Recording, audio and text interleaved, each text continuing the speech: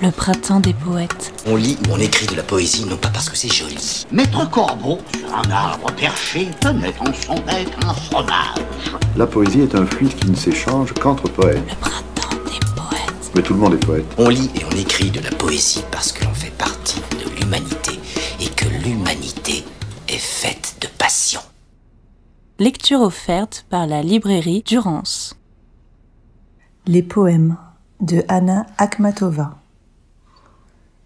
Ce sont des extraits d'insomnie, c'est le noir des bougies tordues, c'est au matin le premier son de blancs carillons par centaines. C'est la tiédeur d'un appui de fenêtre sous la lune de Tchernigov. Ce sont des abeilles, c'est un mélilot, c'est la poussière et l'ombre et la touffeur.